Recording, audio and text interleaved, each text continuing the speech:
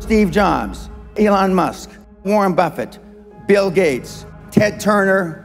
Success leaves clues, kids. I just named five of the greatest names in business in the last 150 years. And they all have one thing in common. They're ball busters. They're hard as nails. Where does that leave you?